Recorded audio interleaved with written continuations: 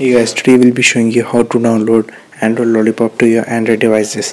So first of all, just go to Play Store and download the Motorola Update service. This is necessary to download Android 5.0 Lollipop. So just install it and just go to Google Chrome and just paste the link given in the description and just navigate through the website and press on the blue download button. So this will start the download of the operating system.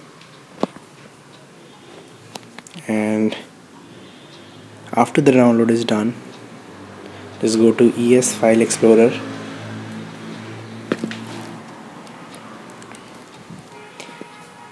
And um, just go to downloads and just change the name name of the file to 22.21.32 so I have changed the file name and just press on the file and move it to SD card as well as internal storage.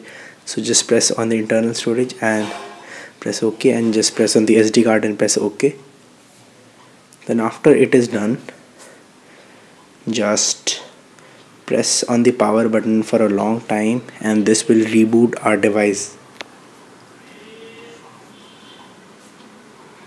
so as you can see the reboot has started.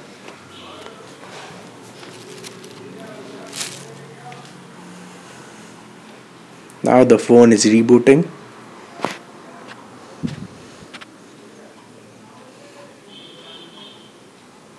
And as you can see just the phone has restarted. Just go to settings and about phone and just check for system updates and as you can see the new sub update has arrived.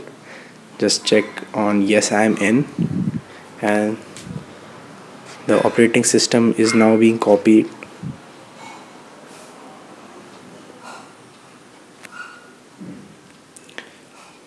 So after it is done just press on install now.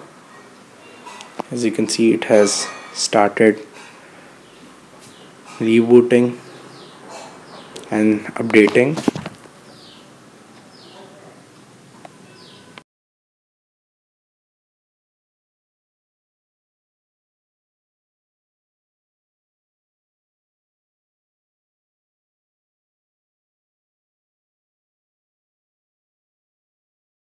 As you can see the update has started downloading.